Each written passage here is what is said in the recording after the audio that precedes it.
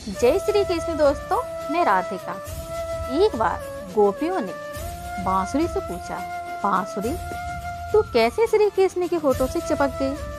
बांसुरी ने कहा, क्या बताऊँ बहना, मैं तो चुपचाप अपने बांसों के झुंड में कृष्ण कृष्ण रटा करती थी। एक दिन उनकी दृष्टि मुझ पर पड़ गई।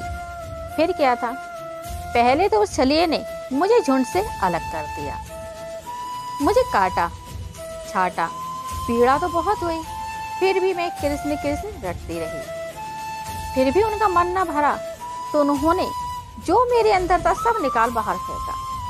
फिर भी मैं प्रेम दीवानी कृष्ण कृष्ण करती रही। फिर क्या था?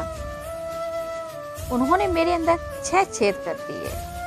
फिर भी मैं उनका नाम जपती रही कृष्ण कृष्ण कृष्ण कृष्ण करती रही।